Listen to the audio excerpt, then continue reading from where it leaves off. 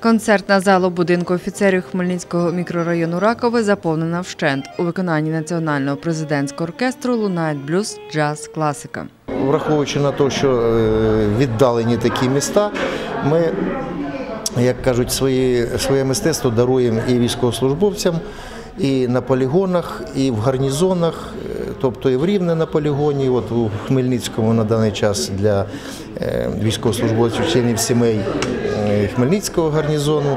Творчий колектив, лауреат багатьох міжнародних фестивалів, уже чверть століття займається розвитком національної музичної культури. Ми плану- плануємо наші концертні програми е, не одного напрямку, а різні. І класична музика, і національна е, е, українська, і, і сучасна. І багато творів написано і нашому війську.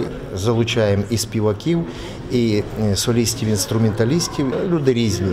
Одним подобається Засухін, другим подобається Фаркушака. Музика кордонів немає. А як член оркестру я виконую ту справу, яку виконує весь наш оркестр. Ми е, е, спільно робимо одну, на мій погляд, дуже важливу справу виховання взагалі. В даному випадку і військових, як би там не було, а підіймає, підіймаємо настрій, підіймаємо їх дух. Головне, щоб вони гарно робили свою справу.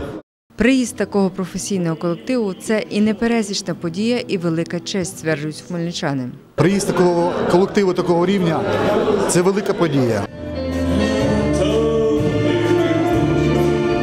Ой, безсонні